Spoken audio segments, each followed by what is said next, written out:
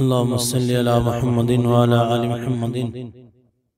قال سمعت عائشة عن النبي صلى الله عليه وسلم. قال السواك مطهرة للفم مرضات للرب. ام المومنین عائشہ رضی اللہ تعالی عنہ نبی اکرم صلی اللہ علیہ وسلم سے روایت کرتی ہیں کہ آپ صلی اللہ علیہ وسلم نے فرمایا، مسواک، منہ کی پکیزگی رب تعالیٰ کی رضا کا ذریعہ ہے۔